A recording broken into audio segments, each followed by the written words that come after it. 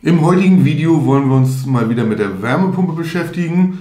Hä? Wärmepumpe im Sommer? Spinnt der? Werden jetzt einige sagen, nein, der spinnt natürlich nicht.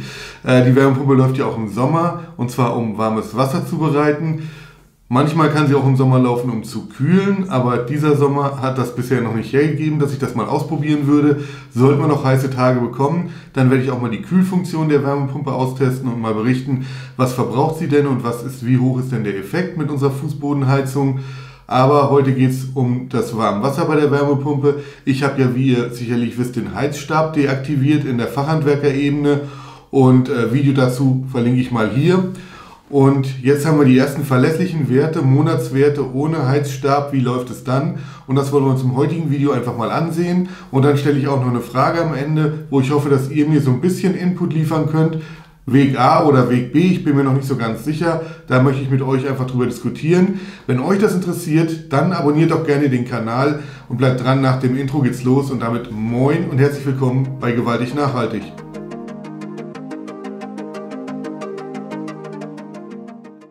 Ja, die Wärmepumpe im Sommer, da muss sie halt auch Arbeit verrichten und zwar um warmes Wasser zu produzieren. Und ich hatte im Juli Statistikvideo ja schon gezeigt, äh, was wir verbraucht haben. Ich weiß, wir sind jetzt nicht ähm, die Spitze der Effizienz. Ich habe andere gesehen, die haben gerade mal die Hälfte von dem für warmes Wasser verbraucht mit mehr ähm, Hausbewohnern, als wir es sind. Aber unsere Wärmepumpe läuft halt, wie sie läuft. Da kann ich auch nicht viel dran ändern. Und ähm, wir wollen einfach heute mal reingucken, was haben wir denn hingekriegt, wie viel Verbesserungen haben wir hinbekommen und wo stehen wir denn überhaupt jetzt mit den Jahreswerten auch. Und dafür würde ich sagen, schauen wir erstmal in unsere Excel-Tabelle, in der ich die ganzen Werte unserer Wärmepumpe festhalte. Hier haben wir also die Excel-Tabelle mit den Werten. Seit November, seit 7. November ist die Wärmepumpe bei uns in Betrieb. Und ähm, wir haben hier vorne in der ersten Spalte die Kilowattstunden elektrisch fürs Heizen. Die stehen natürlich jetzt auf Null. Ich hoffe, dass sie auch bis Oktober noch auf Null stehen bleiben. Und dann haben wir die Kilowattstunden Wärme, die damit erzeugt wurden. Die stehen natürlich dann auch auf Null. Und dann haben wir hier das, was jetzt noch interessant ist im Sommer. Das ist das Warmwasser, die Kilowattstunden, die wir elektrisch dafür verbrauchen und die Wärme, die wir daraus erzeugt haben. Und ähm, das Ganze haben wir dann nochmal als Gesamtwert zusammengefasst. Das ist natürlich dann derselbe Wert wie bei Warmwasser elektrisch. Und Gesamt-PV, wir haben also alles aus der PV geholt. Ein oder zwei Prozent kam aus dem Netz, aber wir hatten ja auch nicht die ganze Zeit einen Speicher hier. Deshalb äh, würde ich sagen, das können wir vernachlässigen. Das, was jetzt zwischen Mai und September, Oktober an der Wärmepumpe verbraucht wird, das kommt komplett aus der eigenen Photovoltaik. Ja, und dann Gucken wir noch hier drüben, was haben wir denn für eine Arbeitszahl bei der ganzen Sache rausbekommen. Wir haben also seit Mai den Heizstab abgeschaltet. Im Mai habe ich ihn abgeschaltet, äh, nicht von Anfang an, wie man hier sieht. Da hatten wir noch 82 Kilowattstunden Verbrauch. Und da hatten wir aber eine Arbeitszahl von 3,24, die war überraschend gut. Ich habe also den Eindruck, wenn Heizung und Warmwasser zusammenlaufen, ist das noch förderlich für, den, ähm, für die Arbeitszahl der Warmwasserbereitung. Das ist jetzt wieder ein bisschen runtergegangen. Jetzt im Juni und Juli sind wir bei 2,91 und 2,78. Das sind für unsere Verhältnisse schon recht ordentliche Werte. Wie man hier oben sieht, hatten wir schon mal 2,09, 2,27, 2,44. Also da haben wir schon eine deutliche Verbesserung rausbekommen. Und ähm, jetzt wollen wir uns das nochmal ansehen, was das Ganze gebracht hat. Wir haben also 35 Kilowattstunden im Juni verbraucht. Das ist eigentlich so ein Wert, wie eine richtig effiziente Brauchwasserwärmepumpe es zum Beispiel hinbekommt. Ähm, bei uns ist der Wert so niedrig, weil wir einfach zwei Wochen im Juni unterwegs waren und ich habe die Wärmepumpe einfach komplett abgestellt. Ich hatte sie vorher auf Abwesenheit gestellt, aber was hat das dumme Ding gemacht? Es hat irgendwann nachts angefangen, plötzlich doch wieder warmes Wasser zu machen. Das war also nicht ganz der richtige Weg, also habe ich mir gesagt, Heizung ist eh aus, Warmwasserbereitung auch ausgestellt, dann war die Heizung also quasi, sie lief zwar noch, aber es war nur noch die Regelung, die lief und alles andere war ausgestellt. Und damit sind wir halt auf 35 Kilowattstunden im Juni gekommen. Ist ja auch wichtig für die Jahresbilanz. Ich hatte das ja mal hochgerechnet und habe dabei natürlich vergessen, dass der Mensch auch mal Urlaub macht und nicht da ist.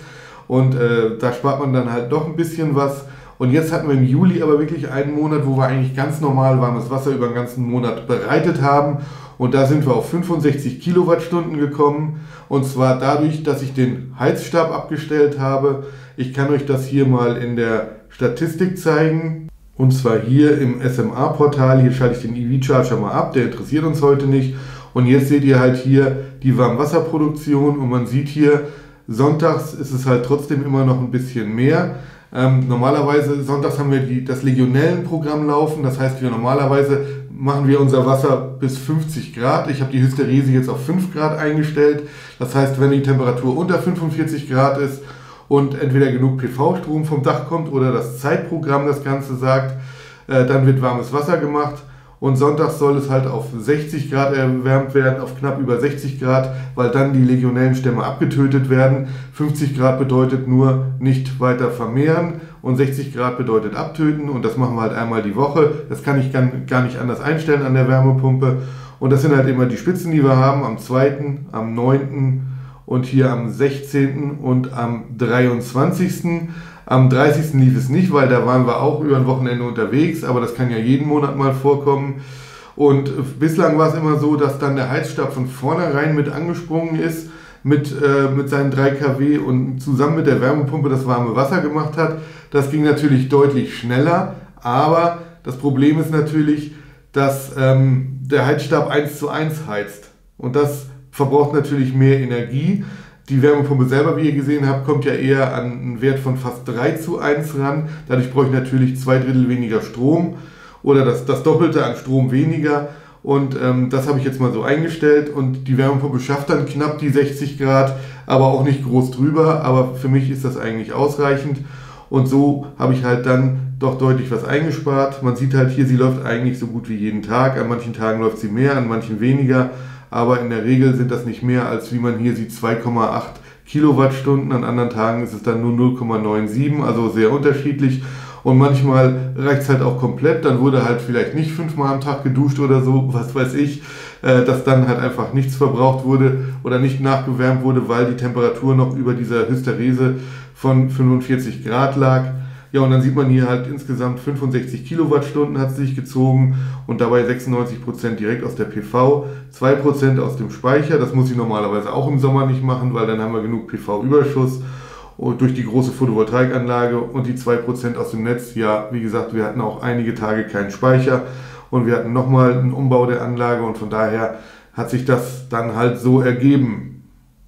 Ja, und jetzt sieht man halt hier in der Spalte, ähm, die Werte des elektrischen Verbrauchs und wir hatten halt mit Heizstab immer so fast an die 100 Kilowattstunden gebraucht und dann im Mai habe ich ihn halt abgestellt. Mitte Mai irgendwann sind wir auf 82 runter und jetzt 65 war halt der erste Monat wirklich, wo es normal war, ohne Heizstab. Das heißt, auch Temperaturen gegenüber April, Mai war im Juli wirklich nicht viel anders, muss ich sagen.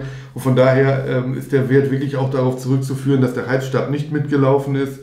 Und wir haben da wirklich jeden Sonntag so 5, 6 Kilowattstunden eingespart. Und das zeigt sich hier auch wieder, dass wir gute 30 Kilowattstunden pro Monat einsparen.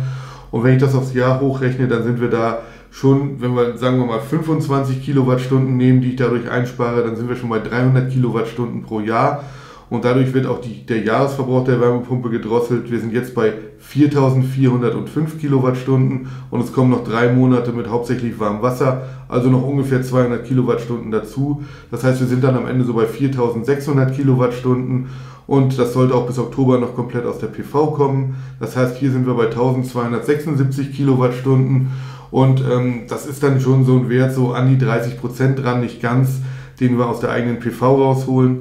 Und ihr dürft nicht vergessen, unsere PV im Winter, die performt eher, als hätte sie nur die halbe Leistung, durch die flache Ausrichtung und durch die hohen Bäume.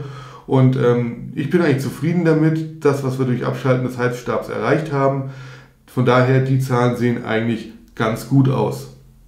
Jetzt ist aber die große Frage, und die stelle ich an euch.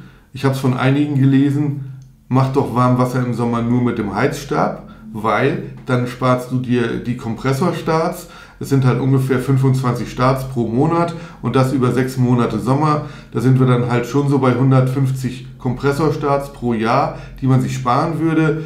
Begründung, ne, der Strom kommt auch aus der PV, ähm, ist doch kein Problem. Nur im Heizstab dann erwärmen, das warme Wasser über die ganze Zeit. Und äh, dafür verbraucht man natürlich dann doch einiges mehr an Strom, aber er kommt ja vom einigen, eigenen Dach. Ja, ich bin hin und her gerissen. Auf der einen Seite Effizienz. Die Wärmepumpe macht halt mit, äh, mit dem Kompressor wesentlich effizienter das warme Wasser. Ich brauche halt nur ein Drittel von dem Strom, den ich mit dem Heizstab verbrauchen würde. Auf der anderen Seite, wenn der Verschleiß dadurch natürlich so erhöht wird, sagen wir mal auf 20 Jahre sind das 3000 Kompressorstarts.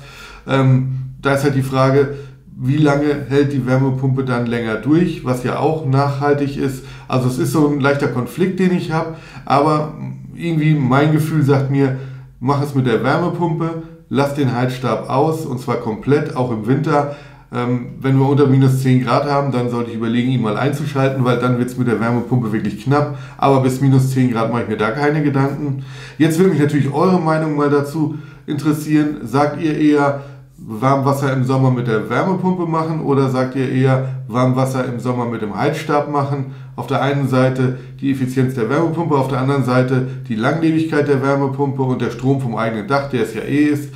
Das ist halt die große Frage, die ich an euch mal stellen will. Ähm, wie seht ihr die ganze Sache? Schreibt es gerne in die Kommentare, würde mich wirklich brennend interessieren. Ja, wir werden weiter über die Wärmepumpe berichten. Ähm, ich soll, wollte ja auch nochmal ein Video über alle Einstellungen machen, die wir jetzt vorgenommen haben. Vielleicht sagt der eine oder andere auch, hm, pass mal auf, mach da doch nochmal was anderes. Das werde ich auf jeden Fall noch vor dem Winter machen. Und ähm, vielleicht können andere dann auch davon ein bisschen profitieren, dass sie sagen, ey, ich, das gucke ich bei meiner Wärmepumpe auch nochmal nach, weil oft sind es ja Einstellungen, die sind herstellerübergreifend, die sind für alle Wärmepumpen gleich. Und vielleicht finden wir dadurch ja auch so ein gewisses Optimum, wobei natürlich jedes Gebäude, jede Situation immer anders ist. Ja, und ich hoffe, euch hat das Video gefallen. Wenn dem so ist, lasst uns gerne einen Daumen da, abonniert den Kanal und drückt die Glocke. Ihr wisst ja, wenn ihr die Glocke drückt, kriegt ihr auch immer alles mit, was wir machen. Bei Instagram solltet ihr unbedingt auch mal reinschauen, da sind wir nämlich auch vertreten. In diesem Sinne danke ich für eure Aufmerksamkeit und sage Tschüss, bis zum nächsten Mal.